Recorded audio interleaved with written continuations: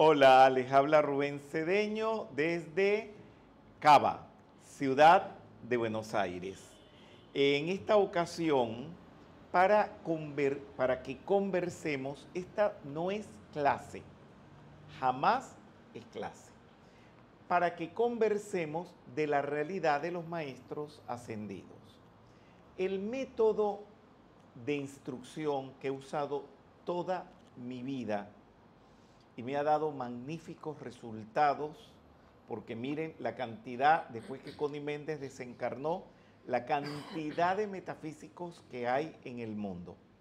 Eso es por métodos. Este método que utilizo es la combinación de métodos pedagógicos, pero hay gente que no los entiende y creen que yo estoy regañando, desautorizando, que no les oigo lo que me dicen y dicen cantidad de barbaridades por redes y es porque no saben de pedagogía. Y lo que querrían es que me ponga con los métodos que sí son malos, autoritarios, de una persona que habla, que habla, que habla y no participa nadie. ¿Me entiende? Yo no estoy retando a nadie aquí. En Argentina, retar no es lo que significa en otras partes. Aquí creen que retar es regañar, pero no es, eso no es precisamente retar. Eh, creen que lo que estoy es retando, creen que lo que estoy es, eh, ¿cómo se dice?, calificando mal a la gente. Y resulta que nunca, nunca, nunca de las actividades sale nadie disgustado. Todos salen agradecidos porque el sistema va directamente al inconsciente a extraer los puntos que no están claros, las cosas que no están realizadas, eh, los errores conceptuales, erradicarlos de allí y poner lo que tengan que poner, pero no se los pongo yo, se los pone la razón y el sentido común, pero todo ese proceso no es fácil, es complicadísimo a nivel psicológico y a nivel pedagógico. Y por supuesto hay gente que eso no lo entiende. ¿Quiénes lo hacían? Los filósofos griegos, caminando eh, en el ágora de Atenas, era un sistema de diálogo, era un sistema de preguntas, de respuestas y de retos de alguna manera. Ese mismo sistema lo usaba Krishnamurti y están por allí, lo que pasa es que la gente no lee, porque eso está en libros y él retaba a la gente muy fuerte, él iba directo al inconsciente. Este sistema también lo usaba el señor Gautama. Este sistema también se usa en el Zen budismo. Zen budismo es terrible. Les dicen a los estudiantes cosas que no se entienden o aparentemente no se entienden y es buscando que el estudiante descubra por sí mismo las cosas. Y más, y más asuntos hay en este sistema pedagógico el mío no está imitando ninguno de ellos porque tiene otros ingredientes más contemporáneos en pedagogía y una cantidad de cosas. Lo aclaro porque hay gente que no lo sabe y lo tienen que saber. Y no lo voy a cambiar nunca. Díganme lo que me digan. ¿Por qué? Porque correría un riesgo muy grande porque este método me ha dado casi un 100% de buen resultado a nivel mundial, en cinco continentes, en 100 países, en más de 7 idiomas y en casi 2 millones de personas. Bien, si lo cambio, no quiero que me cambie ese récord. Correría un riesgo y además no lo siento hacer. ¿Me van comprendiendo? Y a mi mamá le preguntaban, ¿y por qué él es así? Y mi mamá decía, nació Así. Parece ser que lo tengo de nacimiento, ¿verdad? Y árbol que crece torcido, nunca su rama endereza. ¿Lo sabían? Sí. Sí, bien. Bueno, vamos a trabajar. Cuando digo, ya estoy aplicando el sistema, ¿verdad? Esto es aplicación del sistema. Realidad de los maestros ascendidos. Fíjense, no les voy a preguntar qué significa, sino qué sugiere.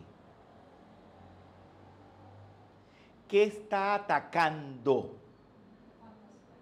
No, no, eh, háblenme por el micrófono porque le explico algo.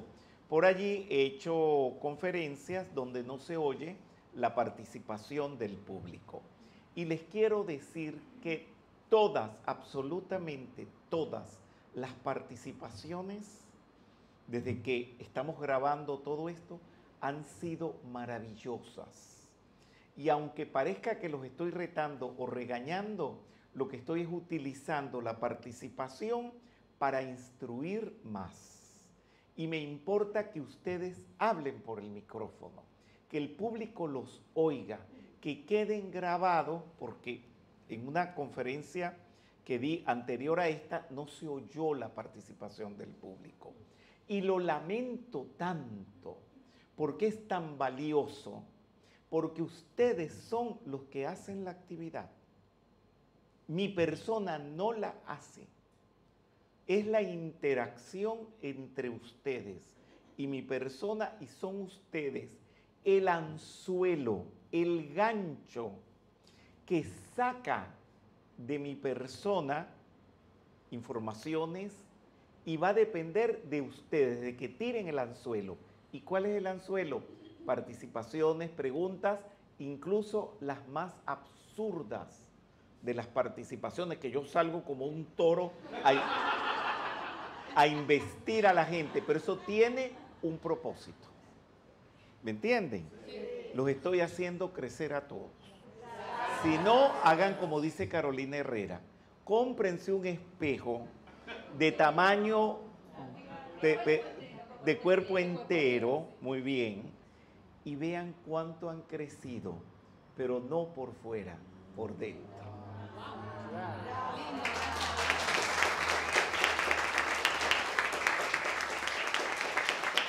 Bien. ¿Qué creen ustedes a qué estoy haciendo alusión? ¿Qué estoy criticando cuando pongo ese título Realidad de los Maestros Ascendidos? Vamos a ver, hay manitos levantadas. Te la voy a dar a ti, que estás así, que estás allá sentadita de último. Que nosotros imaginamos la realidad de lo que son los maestros ascendidos. Eso no tiene nada de malo. Imaginar a los maestros, o sea, no es, perdóname, no es lo que estamos diciendo. Me ponen abajo siempre, usted está desautorizando, usted no oye las opiniones de los demás, que aquí no viene a nadie a dar opiniones. Aquí venimos a descubrir verdades no la opinión de nadie. A mí no me interesa la opinión de nadie, ni la mía misma tampoco. Me... Eso que acabas de decir no tiene mucho sentido. Perfecto, entonces podría decir que vamos a descubrir la verdad de los maestros ascendidos, quienes Pero entonces me estás diciendo el título. Yo lo que quiero es que me expliquen, no que me repitan las palabras o que hagan o digan sinónimos de lo que está allí escrito. Vamos a ver Marcelo Adrián Tosoni.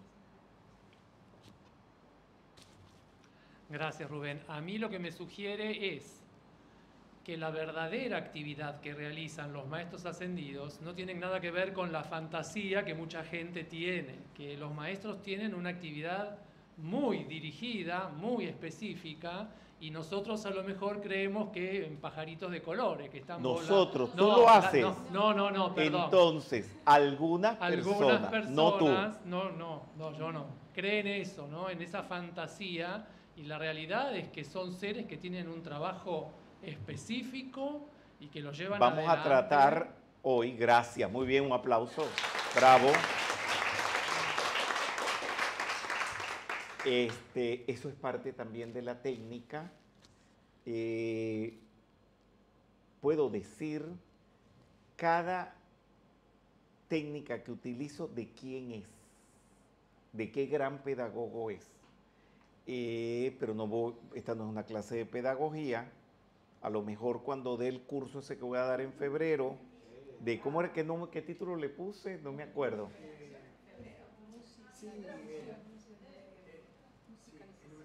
Bueno, voy a dar un curso. Sin, sin sillas, con los pies en el suelo. ¿Ah? Totalmente vivencial, muy bien. Ajá. Ahí a lo mejor voy a meterles, sí, claro, les voy a explicar qué es, de quién es cada cosa y cada método. Muy bien. Este, la gente se imagina muchas cosas, infinitas cosas de los maestros. Y lo peor es que lo comparan a uno con los maestros. Lo último, esta semana, alguien me quiso, pero usted se está comparando con Jesús. Sí, y le dije, a mí me hagas el favor y no me compare con ese hombre. Se lo dije, porque yo hasta el presente no le he caído a latigazo a ninguna persona que trabaje en el comercio, porque mis padres eran comerciantes y ese señor lo hacía. Todavía no he echado la primera maldición y ese señor iba por la calle maldiciendo higueras. Todavía yo no he condenado a nadie de sepulcros blanqueados, de hipócritas, de una cantidad de cosas, como iba ese señor por la calle haciendo esas cosas. Ese señor se llamaba Jesús. No me quiero parecer a él. Pero miren, y la persona se quedó callada, no me ha contestado. Se quedan mudos porque tienen un ideal de Jesús falso. Ah, y también le dije, no tengo el orgullo de decir que soy el Hijo de Dios.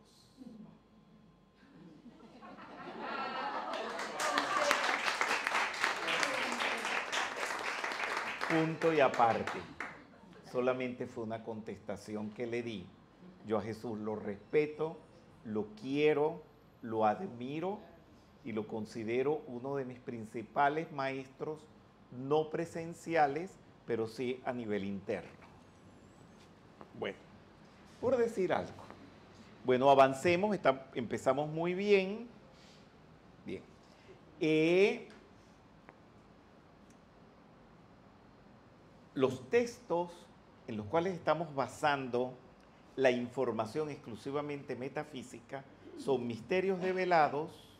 Hoy vamos a trabajar mucho misterios develados. Las explicaciones que está en Visible Saint Germain, Sagrado Libro del Yo Soy, que están todas las enseñanzas del Maestro Saint Germain, y Saint Germain Plus, que no va a salir nunca. ¿Por qué? Porque fue una compilación casi de 600 páginas y ya el editor, que ustedes lo conocen, me dijo, not found. que eso no iba, ¿cómo? Ah, está digital, qué bueno. Pero, ¿cómo? El logo no está mirando. ven acá, dilo por el micrófono. El logo no está mirando en este momento para ese libro. El logo. El logo. Cuando el logo mira para la tierra, es momento de que la tierra ascienda. Cuando ahora el logo está mirando para otros libros. Niño, por favor. Qué profundo. Ok. ¿Quién me lo lee? Esto es para conectar todo lo que vamos a dilucidar hoy con lo que viene de atrás en la historia de Misterios Develados, que es una, una narración vivencial que tuvo Guy Ballard con el maestro Saint Germain. Vamos a ver quién me lo lee. Esto es para que ustedes se pongan en contexto. Vamos a ver Nora Cerruti.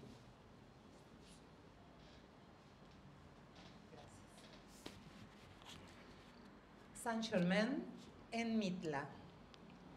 En Mitla, Oaxaca, México, donde vivieron en el pasado Saint Germain y la familia Baller. El maestro le instruyó a Guy Baller parte de la instrucción sobre la realidad de los maestros ascendidos, como grandes baterías, la forma de acercarse a ellos, el manejo y efusión de la luz. Esta fue una instrucción que le dio el maestro Saint Germain en Mitla, Oaxaca, México. Bien, eh, no sé si tengo las fotos, es un lugar donde él vivió físicamente, Saint Germain, vivió Valar, y acostumbro llevar a los estudiantes, cuando ustedes tengan a bien que vayamos a México, por supuesto, vamos a incluir Mitla, pero hay que ir en avión porque no es cerca. Bien. Ah, sí, mira, tengo la foto. Bien. Los, las grecas de repetición, existen diferentes tipos de greca. ¿Saben lo que es greca? Un dibujito y se dice de repetición porque se repite, se repite, se repite. Esos, esas grecas de repetición son las que están en el Royal Teton, en el Tribunal Kármico, en el Templo de la Precipitación, en el Royal Teton que pertenece al rayo dorado. Exactamente, y por eso me tomé la foto allí, para que vean las grecas que están en Mitla. Eso es Mitla. Ahí están las huellas de Saint Germain. Vamos a empezar pues con la instrucción del maestro Saint Germain. ¿Quién quiere empoderarse del maestro Saint Germain? ¡Ay, les dio miedo!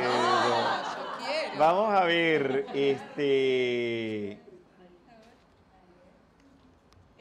eh, María Esther Foquesato. Maestros reales. Los maestros ascendidos han orientado la expansión de la luz en la humanidad.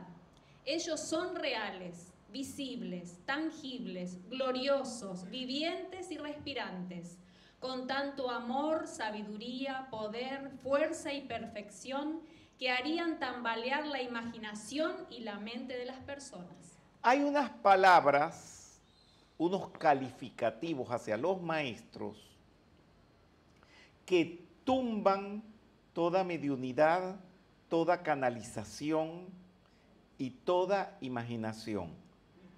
¿Alguien de ustedes me puede decir cuáles son esos calificativos que están allí en ese escrito? Muy bien, tú por favor. Gracias. Recuérdame tu nombre. Soledad.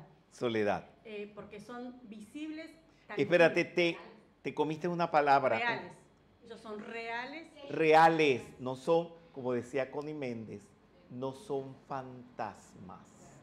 Y Connie decía, Connie era muy, muy aguda.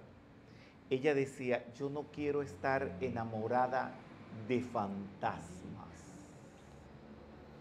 Connie, no sé dónde estás, yo tampoco. No quiero fantasmas. No sé si entienden la profundidad de eso. Sigue. Porque ellos son reales, visibles. Visibles.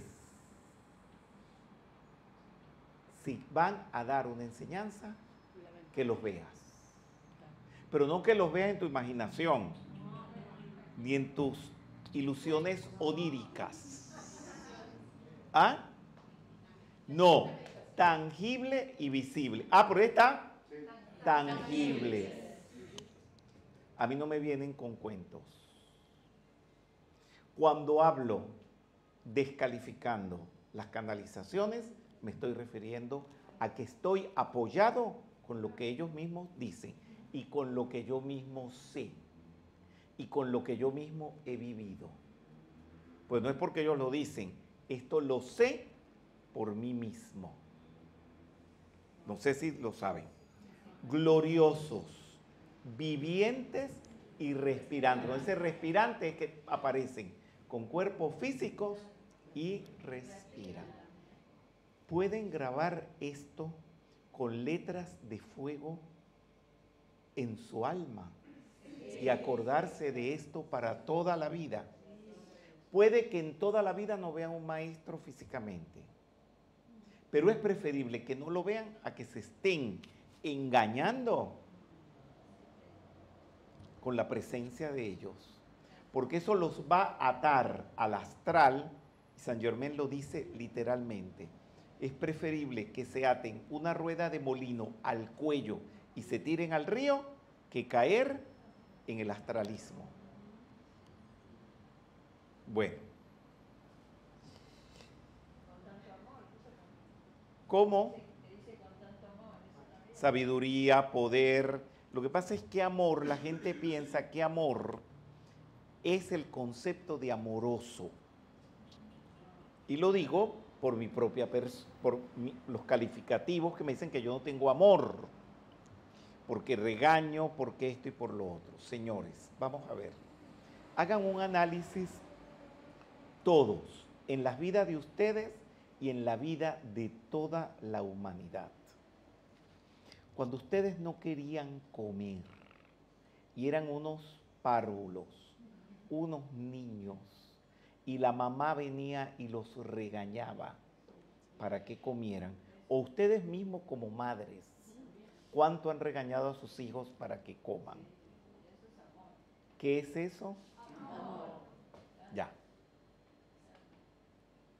Cada regaño de un padre cuando ve un hijo en drogas, fumando, bebiendo alcohol, ¿eso qué es? Yo estoy hablando de ese amor. Es el amor que yo tengo por ustedes. Por supuesto, no les voy a decir que no fumen droga porque creo que no lo hacen. No les voy a decir que no beban alcohol porque creo que aquí no tengo ningún borrachín. Y bueno, hay cosas y que no maten a nadie, porque no creo que maten a alguien. Pero hay asuntos que me tengo que parar como un padre o como una madre y moverles la alfombra, moverles la silla, sacudirlo, qué bien dicho. ¿Me están entendiendo? Eso es el amor que ellos tienen por nosotros. Y si supieran lo duro que son cuando uno se pone terco y no dan su brazo a torcer. Tan es así que hay gente, el Moria no se le aparece a nadie para que no lo estén calificando mal, pero el Moria, es terrible. Y se juguetean el Moria y Kuthumi, se juguetean unos con otros porque Moria acusa a Kuthumi que es peor y más estricto que él, que no es el beloved Kuthumi. ¿Ustedes lo que quiere decir beloved, no? El amado dice, olvídense del beloved Kuthumi. Y olvídense del beloved Jesús. Ya les dije, daba latigazos, maldecía, mal calificaba a todo el que se le atravesara mal. Bueno, no son lo que la humanidad piensa. Eh, aquí tengo una foto, no tiene buena resolución, pero a lo mejor en el internet se va a ver bien. Saint Germain,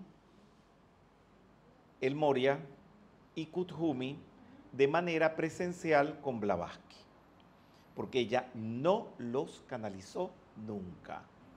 Ella eh, trataba con ellos visiblemente, pero no me tengo que ir muy lejos.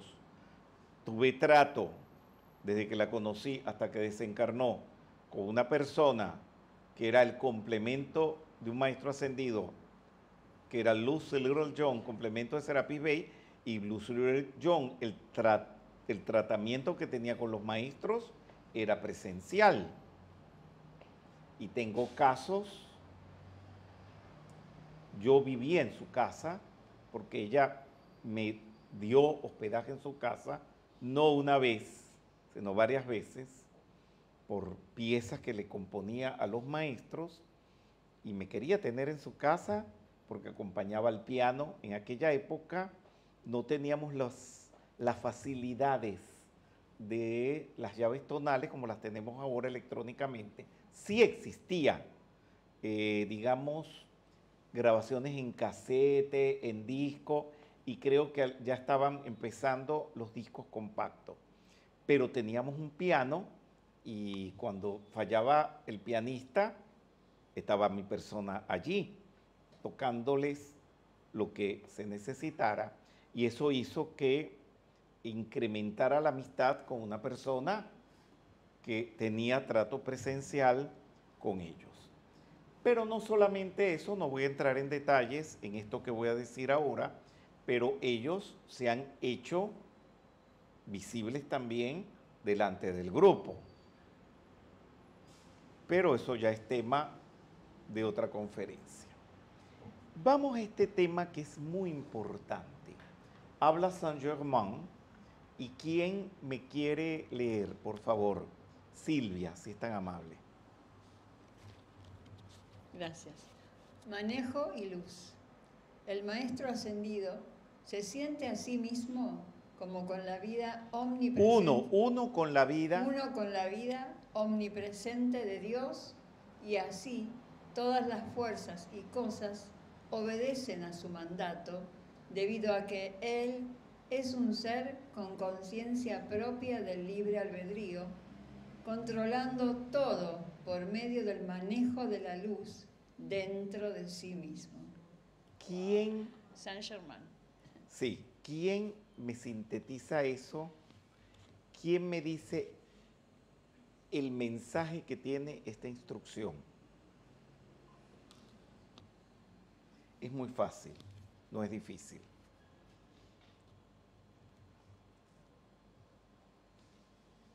Están pensando.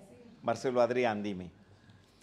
Este escrito lo veo relacionado con lo que vimos la actividad anterior cuando decías que en las primeras este, eras eh, los seres mm, estaban conectados directamente y eh, el poder mismo, o sea, eran el poder porque eran uno con Dios y los milagros que hacían, eh, digamos, le, le parecía a, la gente común que eran maravillas o milagros cuando eran cosas de todos los días porque estaban conectados con ese poder. Y mm, lo relaciono con eso. sí, está bien relacionado, bravo, pero lo que me gustaría es pocas palabras que sinteticen esta instrucción. No que se vayan para lo que se dijo ayer o antes de ayer. Esta instrucción, las pocas en pocas palabras me sinteticen qué dice, qué quiere decir el maestro. Bueno, yo diría que eh, al estar conectados con, esa, con, ese poder de Dios... Pero es que aquí no estamos hablando de conexión. Cuando váyanse al meollo de la información y aténganse a las palabras del maestro. Él no está hablando de conexiones ni nada de eso. Es algo que es una información que él da aquí, donde ya todo eso está resuelto. Vamos a ver, Elizabeth. Sí, eh, sabe que es uno con la vida misma y por libre albedrío se maneja dentro de esa luz a sí mismo y en la humanidad, no está separado. Sí, está bien, está bien, pero no llega al meollo y el meollo está dicho allí. La síntesis de eso está dicho en esas palabras, pero no sé por qué no las leen y por qué no las repiten, porque está fácil. Les dije, está muy fácil. Vamos a ver a Ana Mieres. El maestro es omnipresencia y en esa omnipresencia maneja su libre albedrío direccionando la luz que es. Sí, es lo que está ahí, pero el meollo de la información y es lo que ustedes tienen que aprender, no me lo están, no sé por qué lo evaden.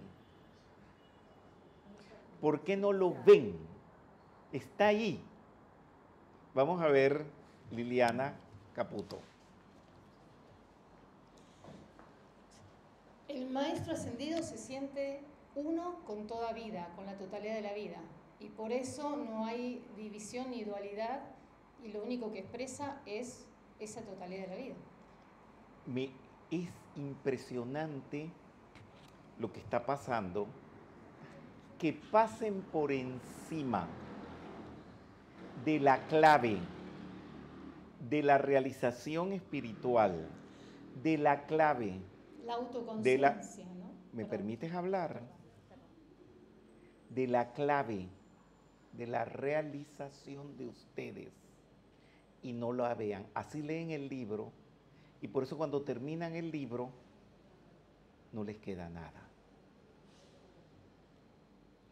Eso es con este pedacito, imagínate con todo el libro. Miren todos los minutos que estamos dedicando para que vean algo que están viendo. Vamos a ver tú. Al, el maestro ascendido, al identificarse, sentirse parte de la totalidad de la vida, él sabe que dentro de él tiene todo ese potencial. Por eso dice, eh, controlando por medio del manejo de la luz eh, dentro de sí mismo. Dentro de sí mismo Ustedes están tiene ese hablando del maestro. Yo di- le pregunto a ustedes, es la enseñanza, no de lo que hacen los maestros. ¿Qué enseñanza nos está dejando para la vida? Vamos a ver, Flavia.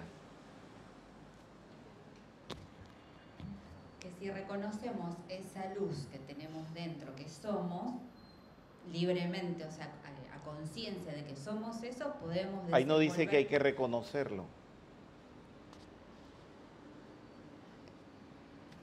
Están cerca. Tan lejos no está. Vamos a ver, Damián.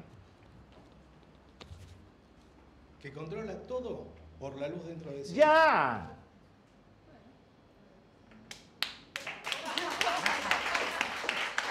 Señores, que todo lo van a controlar por el manejo de la luz.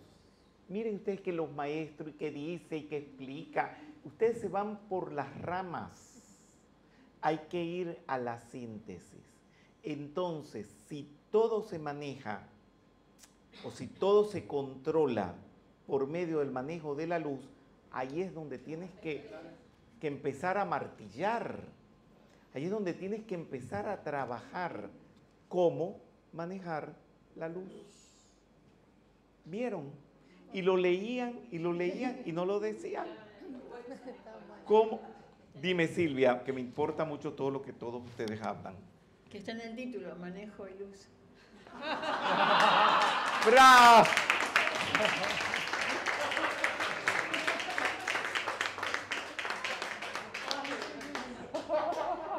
Autoobsérvense y quédense con esa sabiduría, con esa moraleja de que pueden estar leyendo sin leer. Sí, seguimos. Esto. Esto existe. Pero si usted ni siquiera entendió lo que dijo el maestro, ¿cómo les voy a decir yo a ustedes que manejen su casa con la luz? Que manejen sus relaciones familiares, sus relaciones de trabajo, tú que tienes empresa, con la luz. Y sí se puede. Pero que si se puede, se puede. Es como estar sentado y con un dedito estar controlándolo todo. Eso se puede.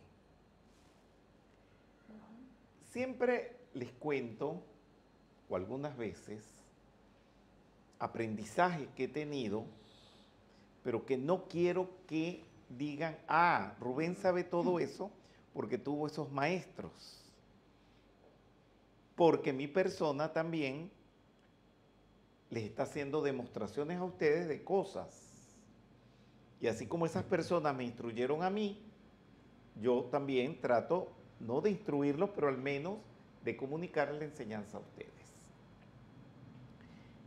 Vi con alguien que se llamaba Abilio Reyes, el primer folclorista, el más grande folclorista de Venezuela, él montaba espectáculos folclóricos con niños, pero con unas cantidades fenomenales, nunca visto, como con dos mil niños a la vez actuando. Yo cuando fui niño, llegué a participar como niño, actor, en estos montajes de Abilio Reyes.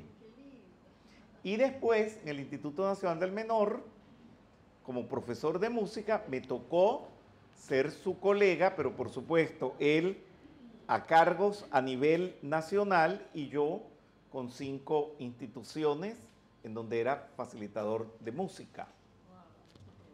Pero me tocó ya estar a su lado y ver cosas sorprendentes. Dos mil niños de 3 a 7 años, donde él a las maestras, porque esos niños tienen que ir, como van aquí a la casa de gobierno y como van al, al cabildo, con la maestra adelante y la filita de niños atrás. Y él, ya en el ensayo general y por supuesto en la función, corría a las maestras y les decía, váyanse, déjenlos solos. Y él se paraba en una esquina con los brazos cruzados, no hacía muecas, no hacía señas, no hacía peladura de ojos, y el espectáculo podía durar dos horas. Y él en una esquina parado con los brazos cruzados. Eso yo nunca se lo vi a nadie, porque a la par que estaba con él en eso, soy cantante de ópera, iba a la ópera, en la ópera no es así. Aquí en el Colón se pegan gritos, se pelean, se sacan la madre, se sacan todo, eh, corren, saltan, brincan, lloran, pasa de todo. Y me dije, yo quiero ser como Abilio. ¿Cómo manejaba él eso? Respuesta. Con la luz. Con la luz. Era un maestro.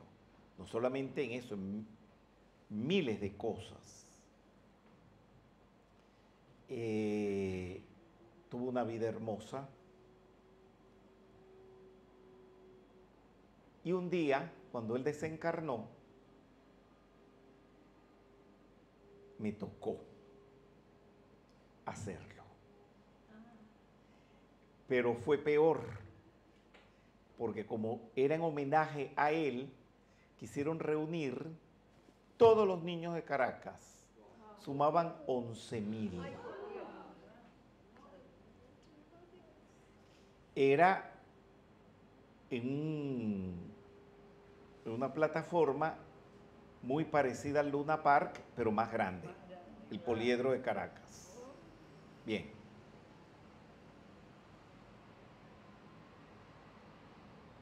Y dije, el gran reto. Saqué a las maestras. Comenzó la música. Y yo dije, no voy a gritar, no voy a pelar los ojos, no voy a hacer señas. Un espectáculo de dos horas y no me moví de mi sitio, ni me puse de mal humor, ni nada. Ok. Ustedes lo ven en todos los congresos. Y Fernando Candioto está aprendiendo también a no hacer señas, a no estar haciendo secretos, así, y no sé, oye, dirigiendo. No, dirigiendo sin la Cuando se ponen a hacer señas y a cuchichear, pues no están dirigiendo con la luz.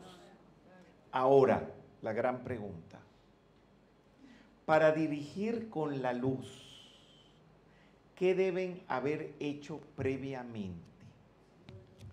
Flavia me lo puede contestar, porque creo, yo no sé cómo tú trabajas, pero tienes que trabajar con la palabra que ustedes me tienen que decir que es lo que se tiene que hacer previamente. No, no estoy diciendo Flavia, no, no estoy, Que, que ella lo puede decir, pero tiene que levantar la mano y quererlo decir. Jaula abierta, open class. Open class. Bueno, no se desvíen de la pregunta que es muy difícil. ¿Qué tiene que haber antes? La conexión con la luz. Si uno no se conecta con la luz. Ah, no bueno, puede. ok. No Yo me, voy a, puede. descon- yo me voy a conectar con la luz, me voy a lanzar a presidente de la República de la Argentina y voy a ganar. ¿Tú crees que eso, eso es así? No. ¿Qué tienes que hacer? Pero bájense de las nubes. Ba- bájense de los pedos de colores. Ah, Flavia levantó la mano. Concentrarse. Muy bien. Me concentro en esta copa y voy a dirigir la Argentina. Eh, bueno, me entreno corriendo. Eso es entrenarse. No hablen vaciedades. Ahí es donde me critican y me ponen cosas abajo. Pero yo los estoy llevando a la realidad. ¿Qué es? ¿Qué crees tú que es? ¿Qué creo yo? Bueno, primero haberlo experimentado yo. O sea, haber Muy bien. entrenado, Y- planificado, observado. Pero con eso tú no vas a lograr que funcionen las cosas. No. Son varios ingredientes más, me parece. Hay uno, hay uno que lo sintetiza a todos. Ay, viven en, señores, dejen la metafísica estúpida, visualizando. Esta actividad se está dando aquí porque yo la visualicé. No. La preparaste, Jamás. la estudiaste, la ¿Qué armaste, hice? ¿Qué, ¿Cómo se llama eso? Eso tiene una La palabra. planificaste. Ya lo dijo. Bravo, repite lo que es como para que te aplaudan y te sacan en hombros. Ay, sí, dale, decilo. Hay una, plani- hay una planificación previa. Planificación.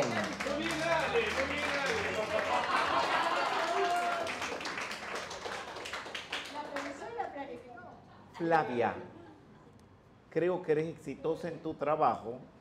Flavia, para los que no saben, es la que dirige todas las azafatas en, en- allá en, en Ezeiza, en todos los aeropuertos de la Argentina. Ya, ya lo dije. Bien.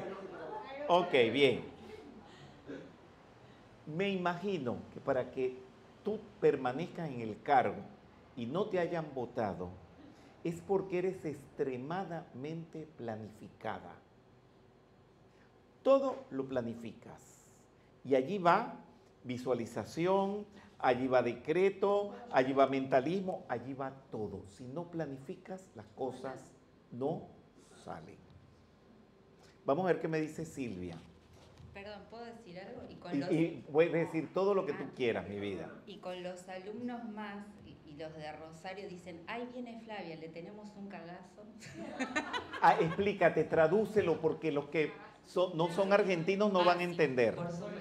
Bueno, como yo los tengo cortito porque los, son chicos que todavía no están volando, sino que están en periodo de instrucción y de formación. Bien. Entonces los tengo, como decimos, que el pelo, que la ropa, que cómo hablan, que cómo estudian, que entonces el día que les tocan las clases conmigo, ya sea la parte práctica o teórica, eh, tienen terror. ¿Y qué fue la palabra que dijiste que sintetiza eso? Cagazo. Cagazo. ¿Qué es el cagazo? ¿Que tienes mal humor o que...? No, que lo- los retos, Ah, los, eso- los regaño, como decís Eso en venezolano es culillo. Ah, culillo, bueno, lo voy a adoptar, culillo. No, y cagazo también. parece- todo se hace por el mismo lugar. Bien. Gracias. Óiganme bien. Unan. Manejo de la luz. Ah, ya te voy a dar la palabra. Manejo de la luz. Planificación. Dime, Silvia, por favor. Sí, quería agregar que todos los docentes planificamos las actividades. A principio de año tenemos que presentar la planificación con los objetivos, con toda la, la metodología y después todos los días que uno asiste a- al curso tiene que completar el libro con el tema. Es así, y eso es una así. planificación. Bien. Cuando llegué de México, para mí la ida ahora a México fue un antes y un después.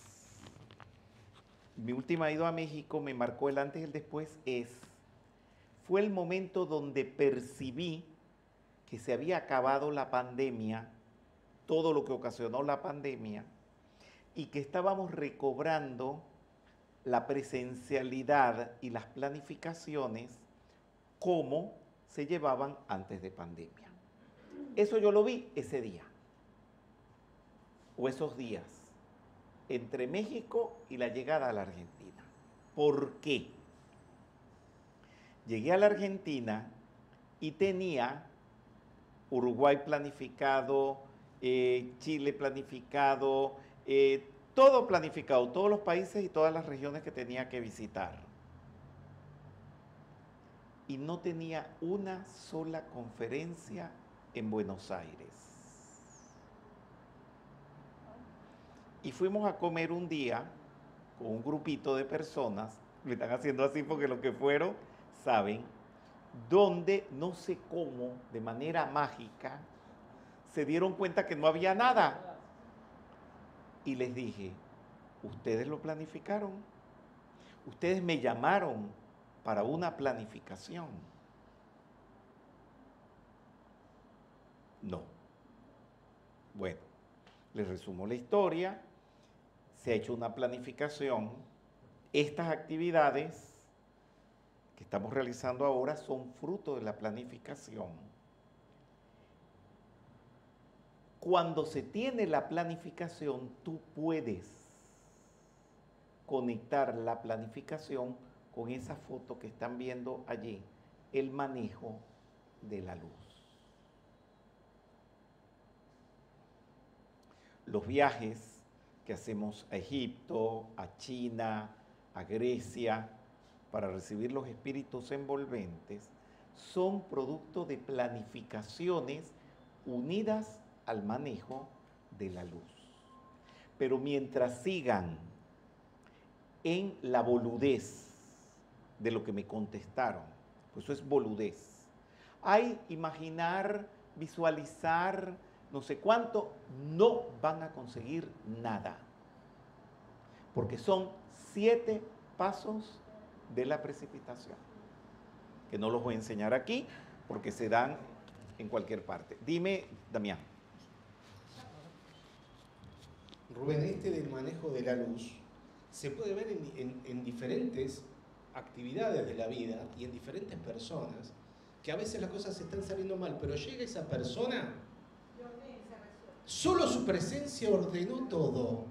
Las cosas empiezan a funcionar, el sonido sale, la luz prende, todo lo que no prendía, lo que no salía, comienza a salir, comienza a prender. Ese, ese es manejo de la luz. Pero primero esa persona tiene que tener concienciado, saber cómo se manejan las luces, cómo se maneja la cámara y cómo se maneja todo. Y los fracasos que me han visto, pues mis, mis fraca- los errores en metafísica se pagan por internet. Sí, lo sabemos. Ustedes ya lo saben. Lo sé, lo sé. Ya han visto, por ahí están colgadas todavía las conferencias fracasadas, es porque no hubo planificación, pero sí hubo boludez. Rubencito, todo está bien. Todo va a salir bien. Nikiti. Diciendo que las cosas van a salir bien, no van a salir bien es tener pruebas de luz, pruebas de grabación, pruebas de fotografía, pruebas. Me acuerdo en ese país que fue el más desastroso de todos, ni el pronter servía, porque no lo probaron, porque no lo planificaron. Bueno, espero que esto les sirva para algo. ¿Quién me colabora? ¿Quién me apoya leyendo? Vamos a ver eh, Leonardo Bizane, que hoy está de cumpleaños. Está, está doblando la esquina. Cu- ¿Cómo sabes tú que es 45? No, no. Él dijo 40. uno dobla la esquina a los 40. Porque un promedio de vida son 80. Ya después de los 80, lo que tú vivas de, de más es yapa. Sí, sí. Entonces esta, esta es la doblada de la esquina. Muy bien, dale. Manejo y luz. Es imperante ejerci- ejercitarnos por medio de la meditación en sentirnos uno con la vida omnipresente de Dios e ir controlando todo por medio de la luz.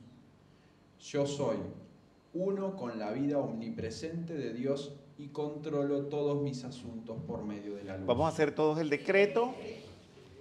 Yo soy uno controlo todos mis asuntos por medio de la luz. me viene a la mente Marcelo Adrián, es arquitecto.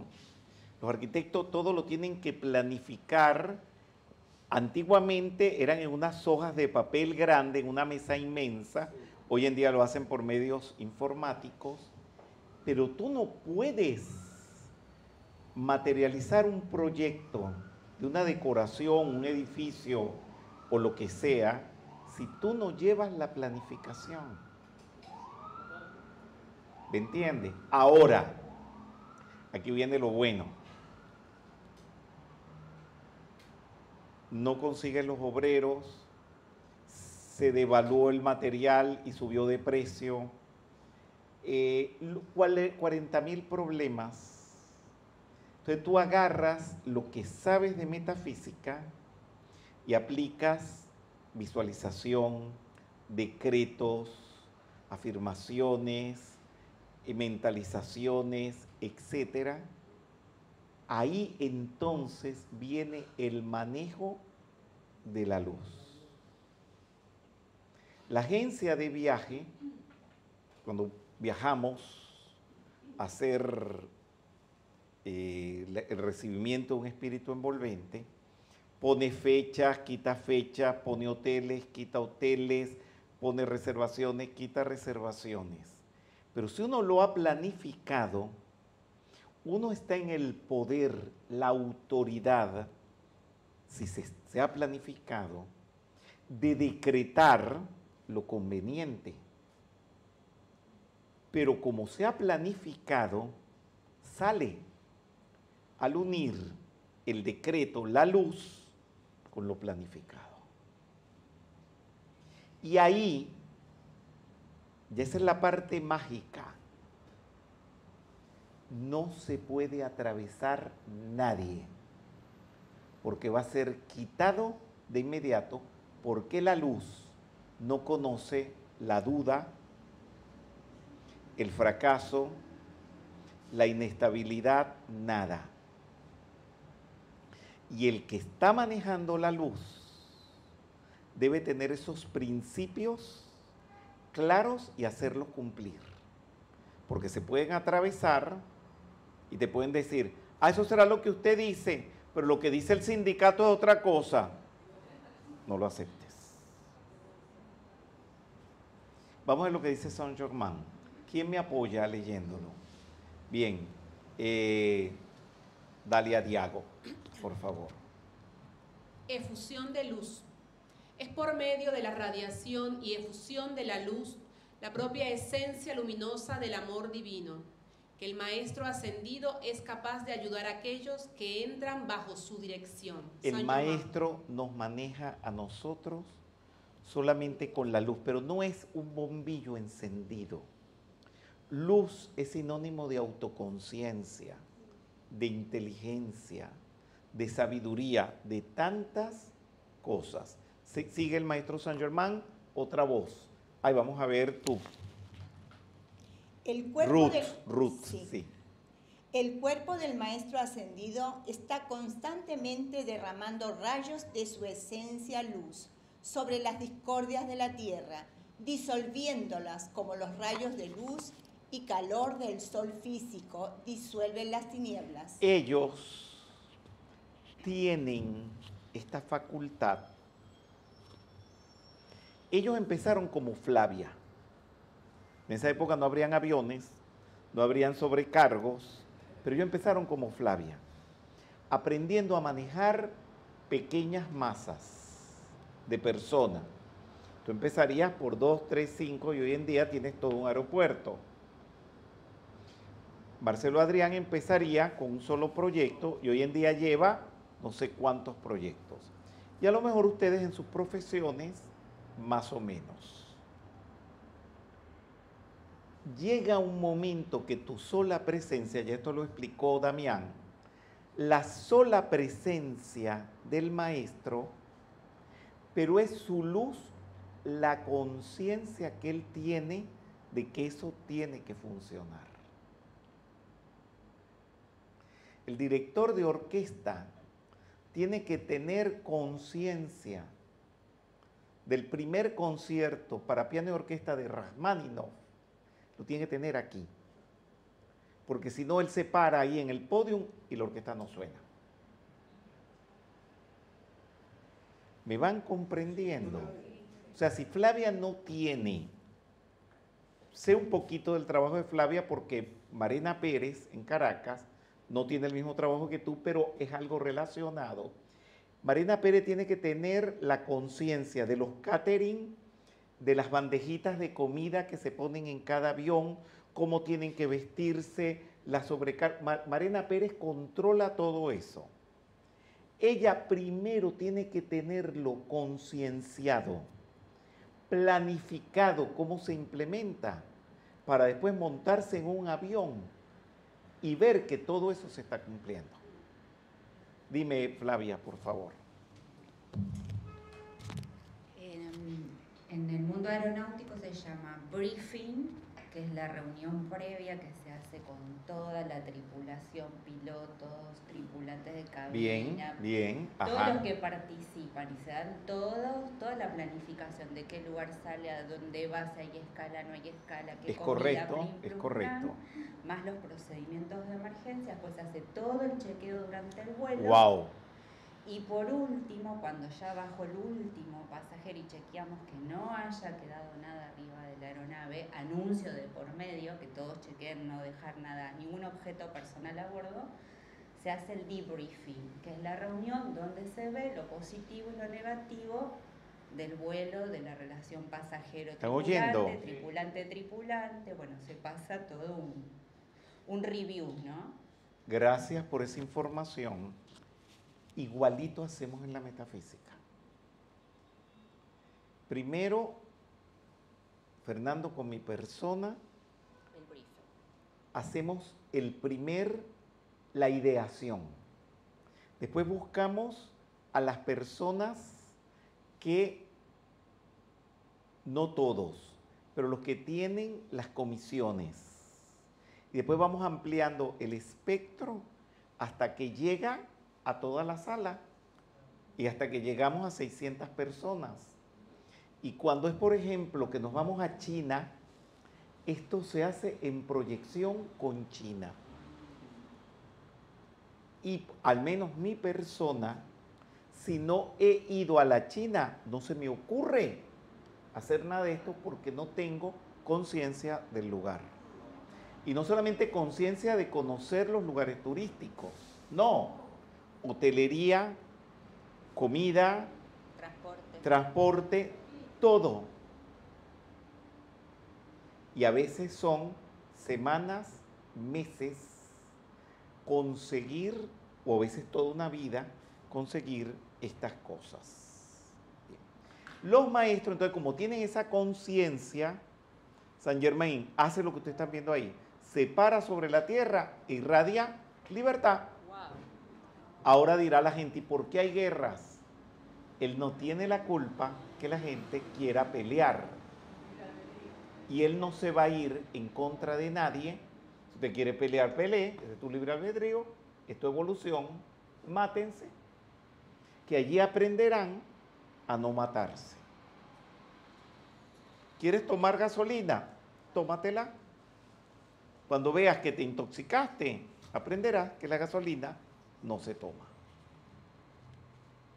Porque lo malo no es malo. Lo malo siempre lleva a lo bueno. No voy a empoderar la Primera y la Segunda Guerra Mundial, para nada, pero ¿cuánto no aprendió la humanidad?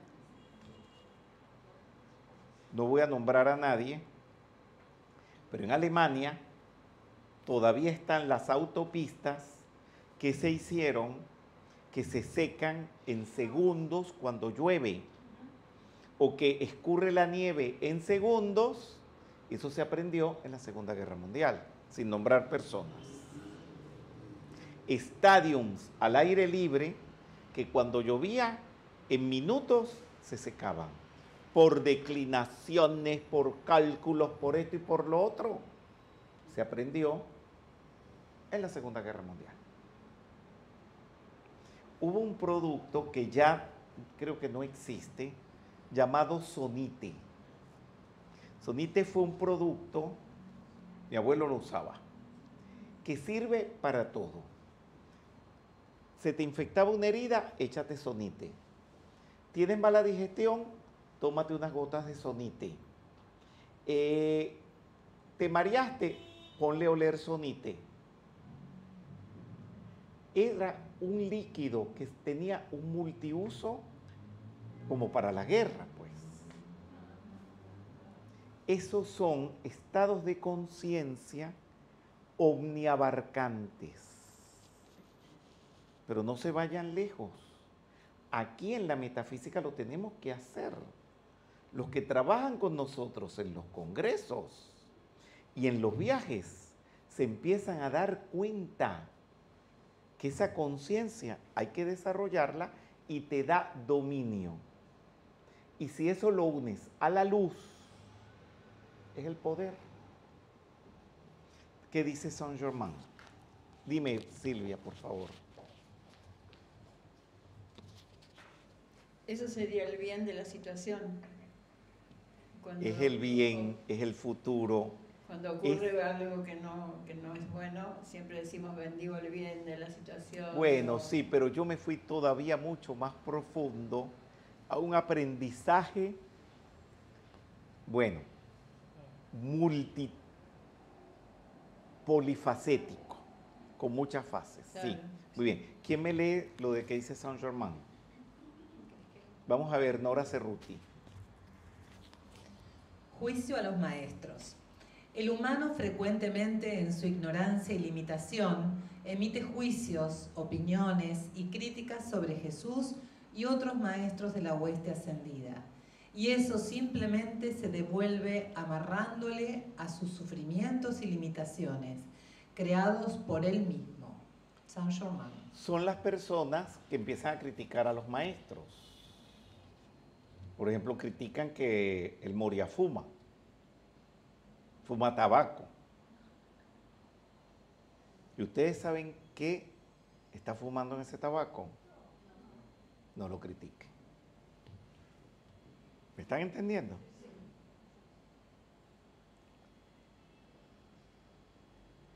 Ellos son misteriosos. En sus misterios, a la vista humana parecen pícaros. Dicen poncho para que se entienda pancho. Dicen pancho para que se entienda poncho. Aparentan estar disgustados, mal encarados y por dentro se están riendo. Serapis Bey es uno de ellos que lo hace. Otros, para otros, todo está bien. Son polifacéticos. Mejor es no opinar. Y hay veces que hay facilitadores, porque ha- hay facilitadores que tienen grados, pueden tener primera iniciación, segunda iniciación, y de tanto estar con los maestros o bajo la influencia de ellos, empiezan a tener picardías como los maestros. Y digo picardías por no decir otra cosa. Vamos a ver eh, quién sigue leyendo lo de San Germán. Vamos a ver. eh, Jorge. Jorge Tronca. Luz y maestros. Los maestros ascendidos, habiéndose liberado a sí mismos, Libertado. libertados a sí mismos de las limitaciones humanas, son flameantes emisores de luz. Flamante. Flamantes emisores de luz donde ningún pensamiento o discordia puede llegar. Esto hace que todos los pensamientos y sentimientos destructivos retornen hacia su creador, atándolo aún más a las cadenas de su propia creación. San Germán. No te metas con un maestro. Que tu falta de visión se te va a devolver con mal karma. No los retes porque se te va a devolver, porque ellos son la luz. San Germán eh, habla de todo esto porque en varias escenas, cuando en el pasado hubo personas que venían a violar el templo o a violar a la esposa de Balar, etcétera, el maestro con solamente levantar la mano, el otro caía muerto. Y no era que el maestro lo mataba. El maestro decía, sencillamente se le devolvió su mala intención. Esta es una parte muy fuerte de todo esto. ¿Qué dice San Germán? ¿Quién me lo... Flavia, por favor. Contacto con un maestro. Hay un camino por medio del cual un estudiante intensamente determinado y sincero puede hacer contacto con un maestro ascendido. Y eso solamente puede lograrse desarrollando un suficiente amor y disciplinando su personalidad. Saint Germain.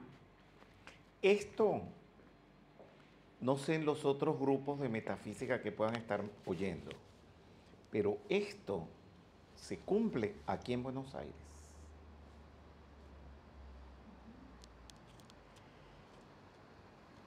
Disciplina, amor, si se cumple, hay como una escalerita donde si usted va cumpliendo con todo, no va a fallar ningún escalón. Si usted, estoy hablando metafóricamente, si usted comienza a no tener disciplina y empieza a fallar, empieza a perder los escalones y nunca llega a la meta.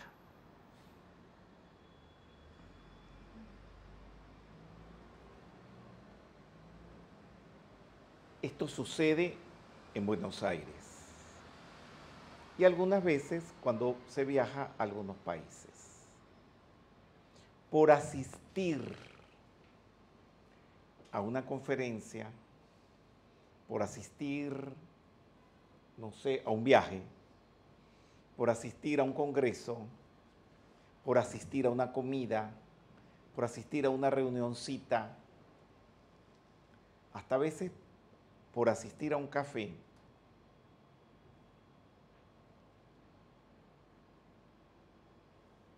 pueden darse iniciaciones y se pueden perder.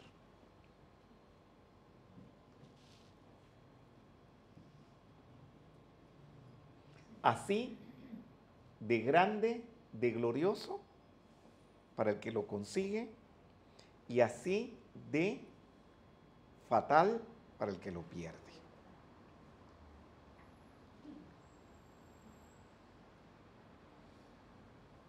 Las historias de los maestros están llenas de eso. Una vez Blavatsky quería ver a Sanat Kumara.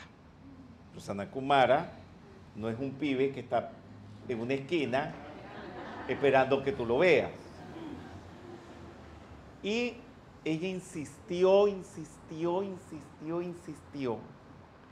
Y le dijo el Moria, creo que fue en la Vía Apia, por eso cada vez que vamos a Roma, vamos a la Vía Apia, porque ahí, pasó ahí pasaron muchas cosas. Anda, vete a la Vía Apia y le dio una hora. Punto a las 12 del día. No sé cuál fue la hora, pero eso está narrado con hora y todo. Y nada, ella se fue. Saben que la, la, la Blavatsky tenía mal carácter, ¿no? Y decía malas palabras. Por eso yo me aprendo todas las malas palabras para parecerme a la Blavatsky. Bien, ok, bien. Hermanitos. Y la Blavatsky estuvo a la hora, hora y media después, dos horas, tres horas. Iba y le arma un escándalo. Al Morio dice, ¿tú crees que yo estoy sin hacer nada? Me haces perder el tiempo, ir a la, vida, a la vía Apia, estar allí esperando, que esa Kumara nada, no se apareció nadie, que no sé cuánto, esto", y le armó y lo ha regañado. Los maestros la querían por eso. El Moria se quedó calladito, no le contestó.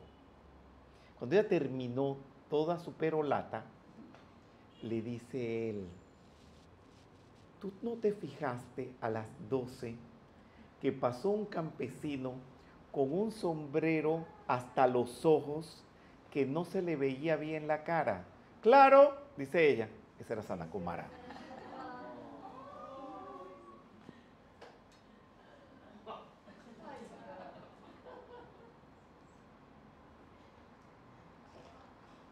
Por eso, en este sendero hay que andar con cuidado. Del maestro Atisbe, apréndanselo de memoria. Del maestro Atisbe, podría pasarme toda la noche hablando de esto. Vamos a ver quién colabora. Amor necesario. Tú, por favor, sí. Gracias. Amor necesario. El amor necesario para hacer contacto con un maestro requiere Miren los requerimientos. ¿Se acuerdan que habló el maestro del amor? Lo tuve que especificar porque no es besitos, ni decirle al maestro, I love you. Ay, Connie era tan cómica. ¿Por qué tengo que acordarme de Connie? Porque Connie, ella era muy, ella caricaturizaba las cosas y era mordaz y muy crítica. Por eso por ahí la gente dice, usted no se parece a Connie Méndez. Y usted qué sabe cómo era Connie Méndez. Y Connie hacía esto. No es decir, I love you. Connie lo hacía y a mí me encantaba cuando ella se ponía mordaz. Muy bien. Ese no es el amor. Bien. el amor De- mi- miren eso. Uno, ocuparse más de los demás que de sí mismo. Óyeme eso. Dos. No, piénsenlo. Sí. Dos. Dos, dar siempre lo mejor con excelencia. Dar lo mejor con excelencia. Tres, Espérate. Piensen en todo lo que dan, que no es lo mejor y sin excelencia. Que lo invitan a uno a comer, nadie se ríe, nadie habla, nadie te agrada. Eso no es amor. Eso pasa. Tres. proporcionar ayuda instantánea. en el momento. Pero usted sabe cómo se ponen, que me molesta mucho y le puedo dar la mano.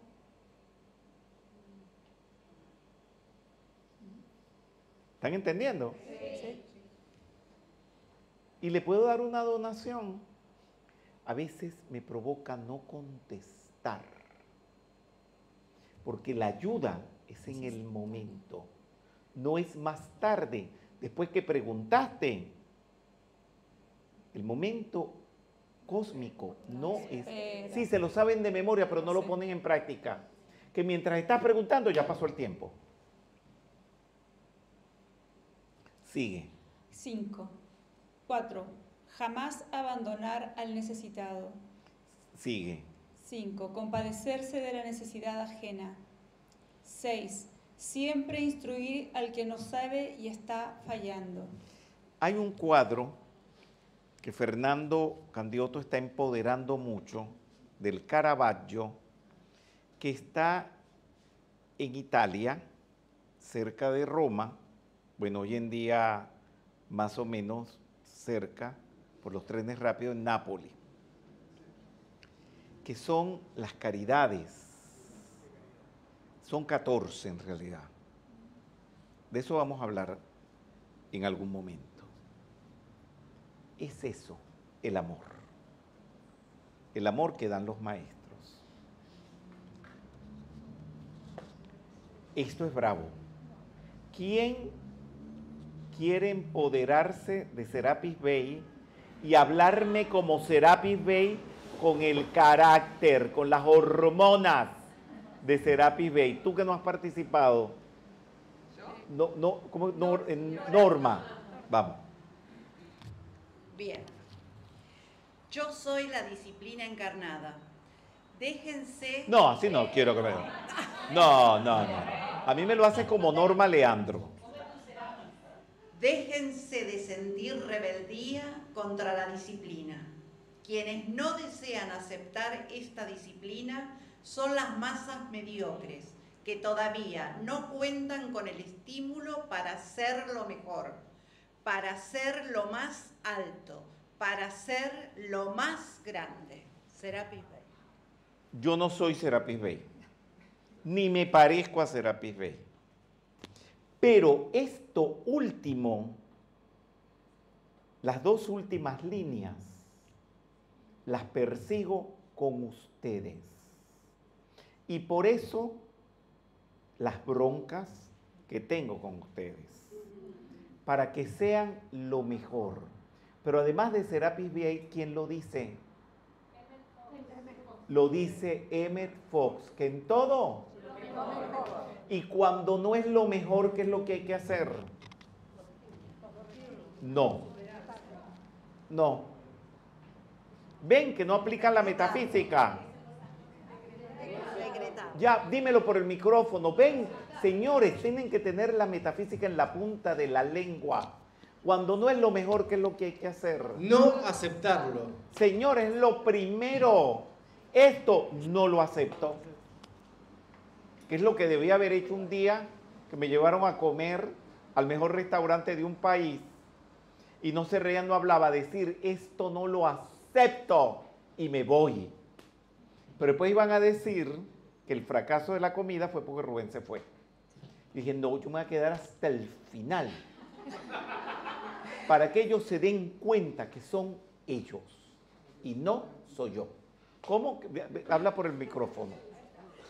Pero habla un poquito, habla.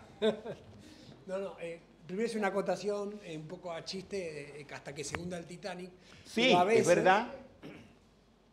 eh, a, veces hay que, cuando uno llama la atención en algo, se da cuenta con los participantes que, que algo se está haciendo mal, y vos lo decís una y lo sugerís dos, y, y ya no hay un eco del otro lado, y lo tenés que dejar, que aprendan solos, que se golpeen contra Bueno, la pared. sí, pero uno busca Lo mejor. que sean ustedes lo mejor. Y esa es mi bronca. Y me dirán, bueno, usted no es metafísico, ¿cómo que bronca? Es que yo no soy metafísico. Yo quiero tener bronca. Porque a mí las broncas me han dado buenos resultados. Mira la Flavia como me hace, como diciendo, así es. O si no, mírense ustedes a, ustedes mismos. Dime. Y, y que también uno eh, viviendo o, o esforzándose para vivir en lo mejor, construye lo mejor. Y voy a ir a... Por supuesto, vas a ir a tu empresa. No, voy a ir a la metafísica. ¿Y por qué que no? es mi empresa, porque tengo un ejemplo que, que algo que pasa con tus visitas a diferentes ciudades. Y pasa lo siguiente, lo que yo observo. Que varias veces las transmisiones no salen como deberían salir. No son lo mejor. ¿Y eso por qué pasa? Porque alquilan las luces, tienen la cámara, el micrófono, solamente para tu actividad. Entonces no tienen la experiencia de manejar eso no que hay es lo mejor. planificación. Si transmitieran así todas las semanas, verían los errores, los corregirían y cuando llega tu actividad estaría todo pulido, todo planificado y todo saldría de 10. Pero buscan solamente lo mejor o lo que ellos consideran lo mejor cuando vas vos. Cuando vos no estás quiere decir que transmiten cualquier cosa. Porque no buscan ser lo mejor y miren qué duro es Serapis Bay para ser lo más alto. Eso es lo que yo quiero de ustedes. Yo no soy lo más alto, pero quiero de ustedes lo más alto. Y eso requiere esfuerzo. Disciplina y aguantar broncas, regaños. Como cuando usted está tocando un concierto para piano y le está saliendo mal y el profesor está tocando el piano a todo volumen y te equivocas. ¿Cómo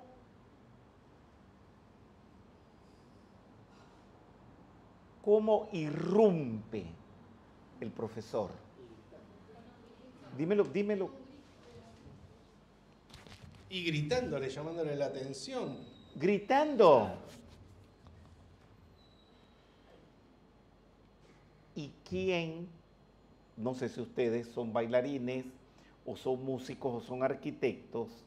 ¿Quiénes de ustedes se han quejado por ese grito del profesor?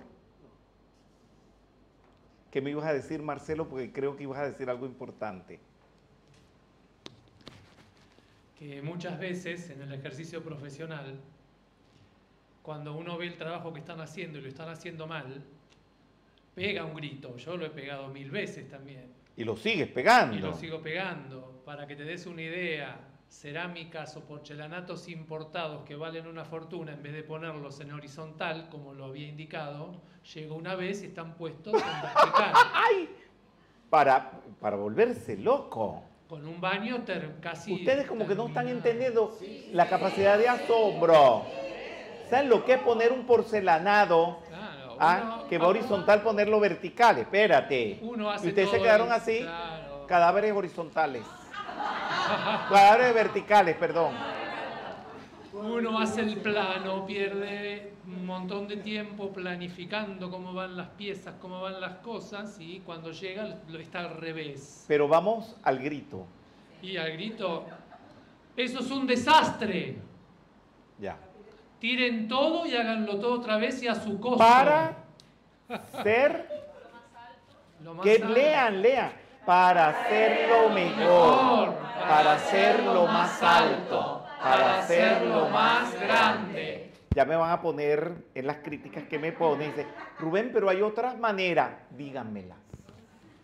Y demuéstrenmelo, el que me lo ponga, que ha formado el mejor concertista, díganme si han formado el mejor arquitecto, díganme si han formado el mejor pintor y les voy a creer en el sistema que implementan. No me digan que hay otras maneras. Dime cuál es la otra manera y cuántos grandes se han formado así, porque dice Serapi Bey lo más grande. Ah, muy bien. Otra cosa, Rubén, cuando uno recibe ese llamado de atención, ese grito, ¿sí? Eh, Dicen el grito primal. Hubo una época que eso se puso de moda, el grito primal, el grito primario, que es el grito del niño cuando nace. ¡Ah! Bien, ajá, dime. ese, cuando uno recibe ese grito, es- esa llamada de atención, uno tiene que ver que lo están haciendo para que uno mejore. Pero si es para ti, porque el maestro no se va a llevar eso. Entonces, depende también de la otra persona devolver con ese grito, ese grito que te dio, un gracias. Sí, pero tú sabes qué es lo que hacen, piden perdón. Cuando tú estás cantando un lead y te equivocas en el alemán y el profesor te corrige, uno no dice perdón, no dice gracias. ¿A quién le va a pedir perdón? El profesor no le tiene que pedir perdón, él no le interesa, tú no lo estás ofendiendo, porque tú pronuncias mal el alemán. El que está quedando mal eres tú, que lo estás pronunciando re mal. Por eso, eh, por allí viene una instrucción muy importante en cuanto a la transmutación. Las tres llamas, los tres lemas de su retiro.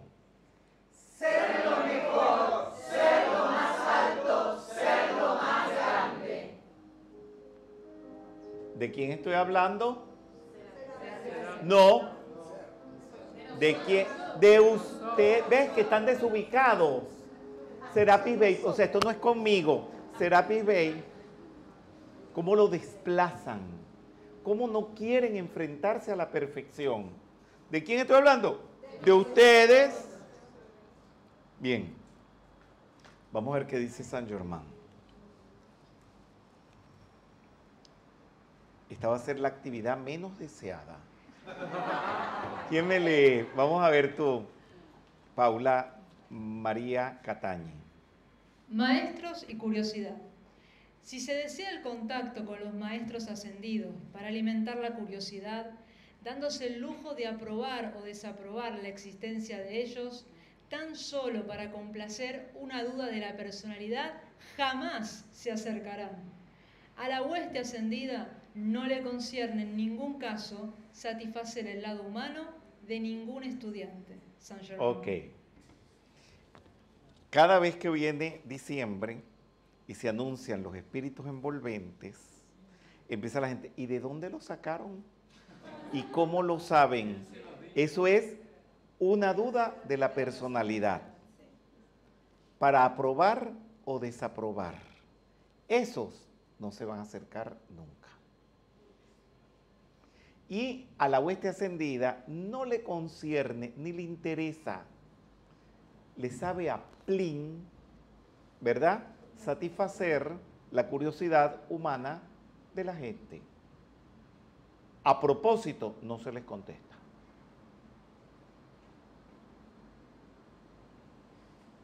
Como decía mi madre, vive la intriga, pero no indagues. Vive la intriga, pero no indagues. Hay una enseñanza respecto de esto que da el maestro Saint-Germain a través de Wagner en una ópera que es Lohengrin. Eh, estaba esta mujer que casi la van a matar, metida en mil problemas y la mujer no estaba haciendo nada malo, y se puso a invocar y apareció Lohengrin en un cisne y la vino a salvar. Y él le dijo, yo te voy a salvar, pero no me preguntes cómo me llamo, ni preguntes de dónde vengo. Bueno, la salvó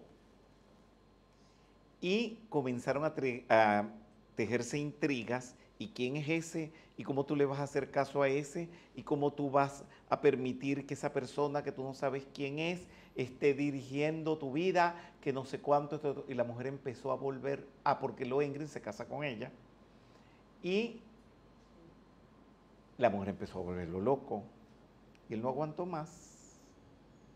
Y le dijo, me llamo Lohengrin y vengo de los caballeros del Santo Grial y no sé cuánto, y en ese momento apareció el cisne, se montó, se fue y no lo volvieron a ver más nunca. Y a ella, y ella volvió a caer en todos los problemas que estaba. ¿Entendieron? Para buen entendedor, pocas palabras hacen falta. Muy bien. ¿Quién? Maestros y kinder. Esto es buenísimo. Tú, mi vida, que no has participado, sí. Gracias, Rubén.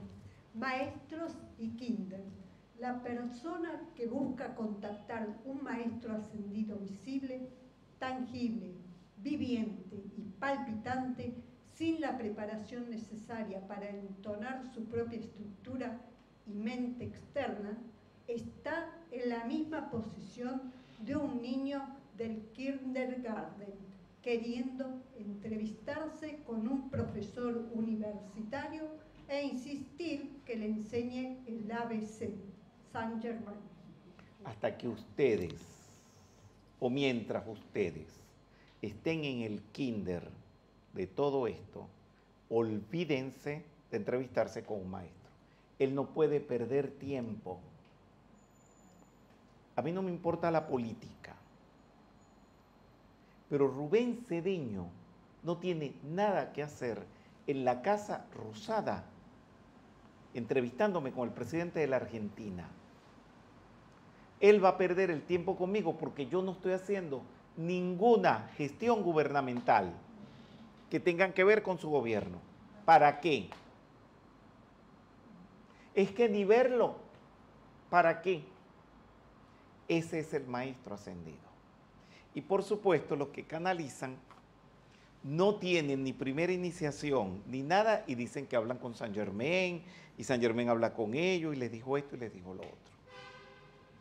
Es un mundo de fantasía, es maya por supuesto, y eso los ata durante encarnaciones. Esta foto la armé yo. Puros universitarios y el niñito. ¿Qué hace ahí ese niñito? Nada. Bien. Eh, maestros y kindergarterinas. ¿Saben lo que es kindergarterinas? La maestra del kinder es una kindergarterina. Es el nombre correcto, técnico, digamos. Bien. Eh, ¿Quién me lee? Vamos a ver, Marcelo Adrián. Así como es un desperdicio de energía que un decano de una universidad enseñe el abecedario a un niño de kinder, asunto propio de kindergarterinas, igualmente un facilitador de facilitadores en metafísica o un maestro ascendido no puede ponerse a comunicar pilares de la metafísica o urbanidad, pudiéndolo hacer un facilitador del ciclo básico metafísico. Cuando un facilitador que lleva años en la metafísica y tiene responsabilidades de muchos países editoriales como los hay, y va a un lugar donde no saben comer en una mesa, no saben atender a un invitado o no saben poner las luces, ¿qué le toca a ese facilitador? ¿Qué creen ustedes?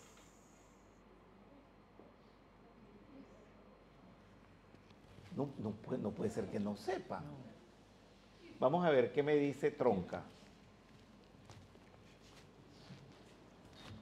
Dejar a cargo a, a una persona... Mandar a otro que les enseñe eso y no volver, pues está perdiendo el tiempo. ¿Ya? Muy fácil. Pero qué raro que no me lo dijeron. Bien, vamos a lo que dice Saint Germain.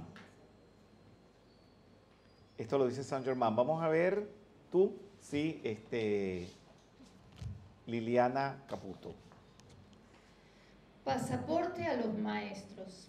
Hay un solo pasaporte que conduce a la presencia de los grandes seres y es derramar suficiente amor hacia el propio yo divino y hacia ellos. Unido todo esto a la determinación de arrancar de raíz lo humano toda discordia y egoísmos. O sea que mientras tengan discordia,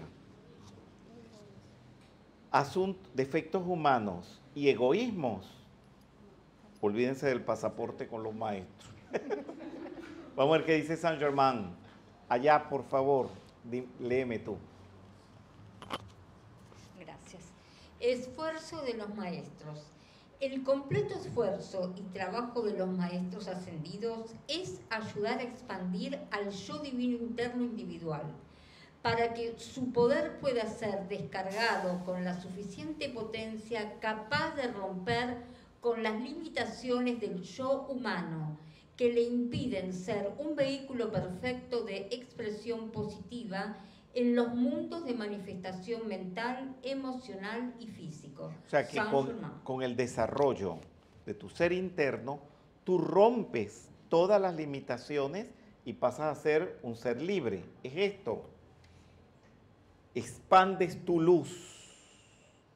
Ah, porque esta lámina es muy buena, porque no solamente tiene el tubo, perdón, el pilar de llama violeta, sino el tubo de la llama blanca y el círculo mágico que se expande más allá. O sea, que tú sales ahorita aquí a Corrientes, sales a Callao y ese círculo va más allá del Congreso. Ese círculo puede ir más allá de Corrientes. Puede llegar hasta Palermo. Eso existe. Y cuando vas manejando, ese círculo va caminando como un foco, como un seguidor, como un foco seguidor de un teatro, es una luz que va expandiéndose. Expandiéndose no, va corriendo a través de ti. Qué bello, ¿no? Vamos a ver qué dice San Germán. ¿Quién me lo lee? Tú, por favor, sí. Parte del maestro. Aquel que desee estar frente a la presencia visible y tangible de uno de la huesta ascendida, debe comprender que, a menos que se convierta a sí mismo en un sol radiante de amor, luz y perfección, para que el maestro pueda usarlo y expandirlo como una parte de sí mismo y que pueda igualmente dirigirse a cualquier lugar conscientemente, sería un inútil y sencillamente un chiste para el trabajo y mundo del maestro. Hay una palabrita allí que encierra mucho, que hay que tener perfección. ¿Quién me puede enumerar perfección en qué? O entre todos vamos a enumerar perfección en qué. Váyanme diciendo y vamos pasándonos el micrófono. ¿El micrófono dónde está y dónde está la gente? Pero no saben perfección en qué.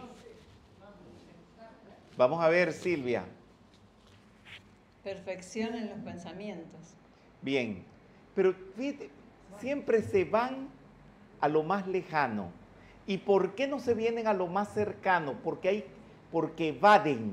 No, pero estaba pensando en la, en la, en- en la- la causa, en. El, el cuadrante de causación. Sí, que pero- empieza por los pensamientos, sí, pero sentimientos, Díganme palabras, perfecciones acciones. más cercanas. Perfección en, en los- las acciones. en Pero eso es teórico. ¿Qué acciones? Mira, cuando dices las acciones genérico, hablemos específico. Aquí en metafísica, hablemos en específico. Vamos a ver.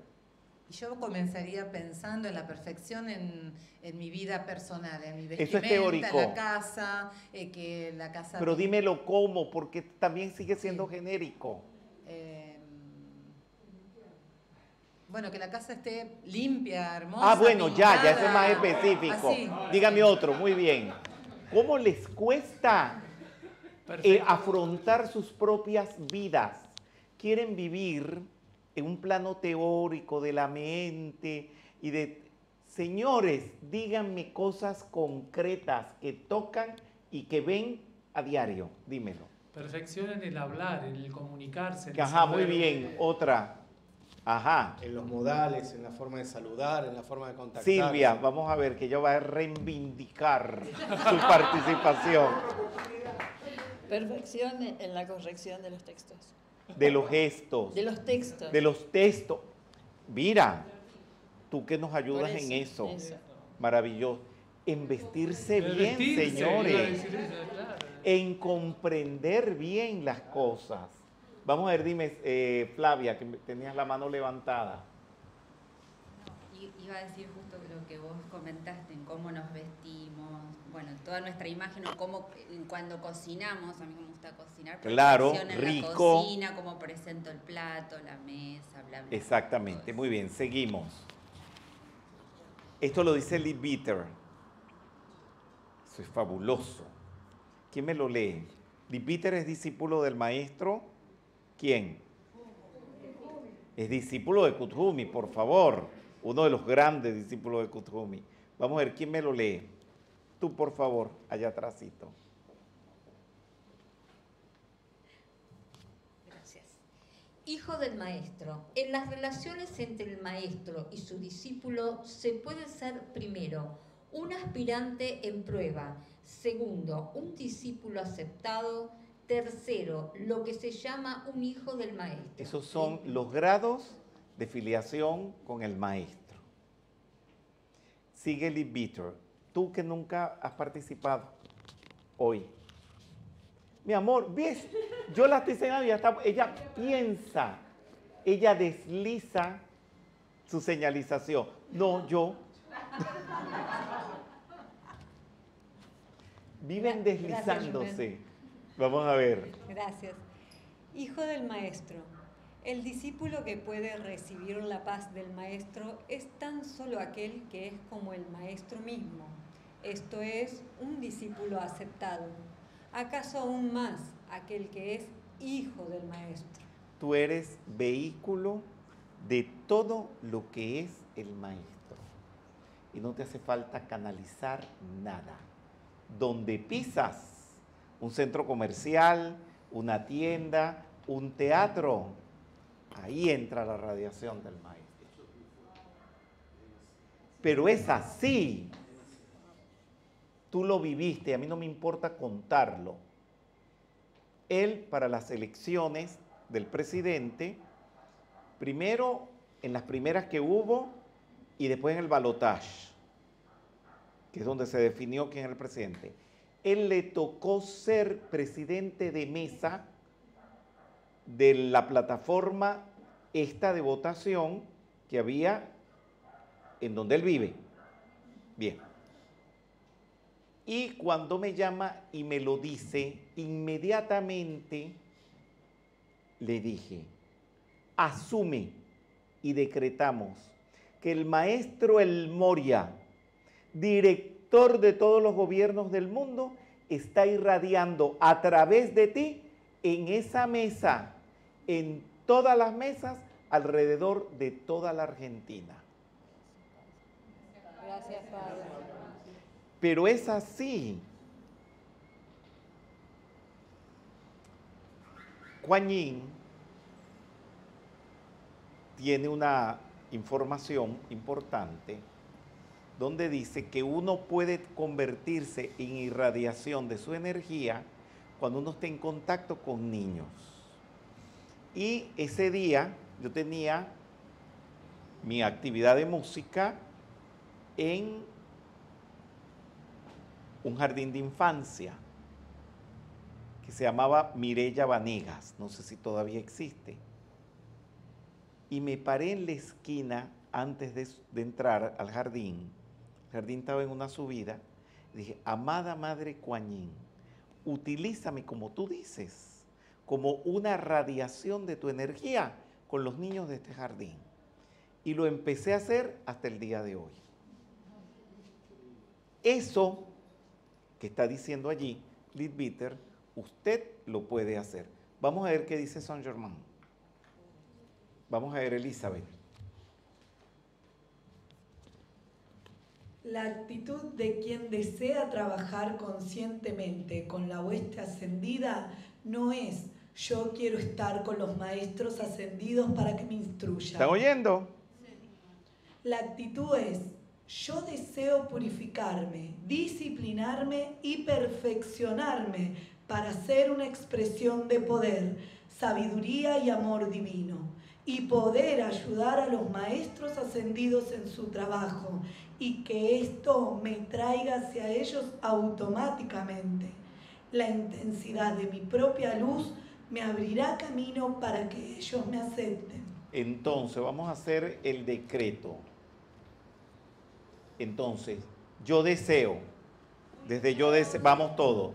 Yo deseo purificarme, disciplinarme y perfeccionarme para ser una expresión de poder, sabiduría y amor divino y poder ayudar a los maestros ascendidos en su trabajo y que esto me traiga hacia ellos automáticamente.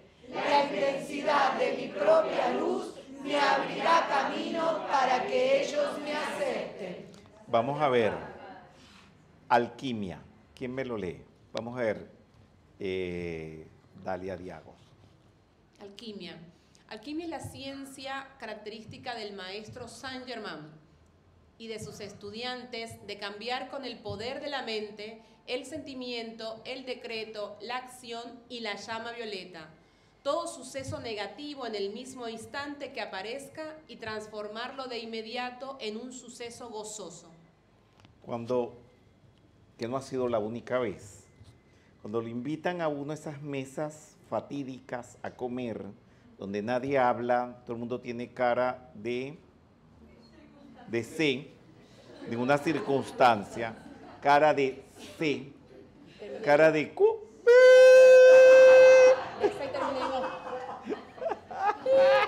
Cara de. Ok. Miren lo que dice allí.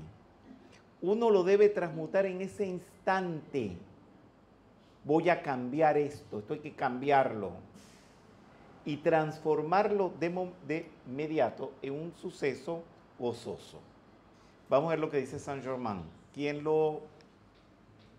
Silvia, por favor. Pide y recibirás. Toca y se te abrirá. Busca y encontrarás. Invoca la luz y los maestros ascendidos y te responderán, ya que ellos son la luz de este mundo. San Germán. ¿A qué se parecen estas palabras? Jesús. A las del Maestro Jesús. Acuérdense que el primer maestro que tuvo Jesús en su encarnación como. Jesús fue San Germán como San José. Bien. Vamos a ver. ¿Quién me lee esto? Nora Cerruti. Nueva dispensación. La nueva dispensación de las enseñanzas del maestro Saint-Germain es un enfoque totalmente nuevo y diferente, diseñado para satisfacer las necesidades del momento y el progreso actual de la raza humana, sin tener en cuenta enseñanzas anteriores, ni utilizar de base ninguna enseñanza religiosa del pasado, donde el corrompido ocultismo, esoterismo y misticismo fue puesto de lado, ya que había demostrado su fracaso en el cumplimiento de sus objetivos. Ahora solo hay discretas referencias a los estrictos A los escritos. a los escritos de algunos estudiantes de la jerarquía, a la Biblia y los Vedas. Rubén. Esto rompe con todo el pasado. Y yo estoy metido en esa lista. Vamos a ver. Que sigue el, el mismo escrito, pero parte 2. Vamos a ver, Marcelo. La nueva dispensación de las enseñanzas del maestro Saint Germain de la ley cósmica está explicada en términos claros, basado en procesos lógicos y el sentido común, lo que permite que la instrucción gane aceptación en estudiantes actuales, universitarios, intelectuales y gente pensante. No vayan a pensar que son ustedes. Ah, sí son. Sí son, sí. Forman parte de eso. Aquí, ¿cuántos universitarios hay aquí hoy? Levanten la mano. Uf, más de la mitad. Déjenla levantada, quiero verlos. Óyeme, más de la mitad. Mi amor, tú eres, perdone que dije universitario, pero tú eres universitaria. Terci- bueno, yo también, yo soy de un conservatorio, soy terciario, pero eso es nivel. También en otros países se dice, no se dice nivel universitario. No somos universitarios, pero somos nivel universitario. Entonces, por favor, los que tengan terciario, también levanten, levanten la mano todos los terciarios. Pero les dije universitarios. Ajá. Y junto con los terciarios. Bien, óigame. ¿Cómo les cuesta hacer sinonimia? ¿Cómo? Ah, levanta las dos manos. Ella tiene los dos. Qué bien, qué bueno. Muy bien. Eh, la tercera. ¿Quién me lo lee, por favor? Tú, tú que has leído poquito. Dale. Nueva dispensación 3. La modalidad nueva dispensación de las enseñanzas del maestro Saint Germain las entregó él personalmente en América y por primera vez desde el hundimiento de la Atlántida se está pudiendo comunicar el conocimiento de la presencia yo soy y la llama violeta en público, que anteriormente solo se podía impartir en los retiros de avanzadas, eh, avanzados iniciados. Ustedes están formando parte de un privilegio. Gracias que Connie Méndez se le ocurrió hacerlo en Latinoamérica. Porque cuando esto empezó, empezó fue en inglés y en los Estados Unidos. Y Connie Méndez, que era más gringa que los gringos, porque hay que que Connie Méndez sí era re estadounidense porque se educó allá, pero era venezolanísima también y latinoamericanísima. Y todo eso dijo, esto va para Latinoamérica. Y lo puso en todas partes. Eh, la cuarta versión, la cuarta parte. Vamos a ver tronca. La nueva dispensación de las enseñanzas del Maestro Ascendido Saint Germain tienen un nuevo enfoque único si se compara con cualquier otro método de instrucción interna. Y a este esfuerzo los maestros lo denominan comienzo de una nueva era. El gran director divino le preguntó al Maestro Saint Germain si estaba seguro de lo que pretendía hacer y este le respondió, voy a ensayarlo y ya veremos. Y lo ensayó San Germain, creo que te fue bien. Ah, porque yo soy el reino, yo soy el poder, yo soy la gloria.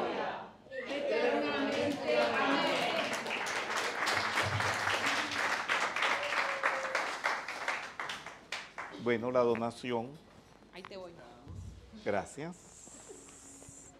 Gracias.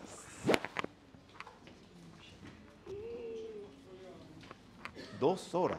Hola a todos. Con esa misma sonrisa vamos a practicar la donación voluntaria y para todas las personas que están conectadas a través de YouTube.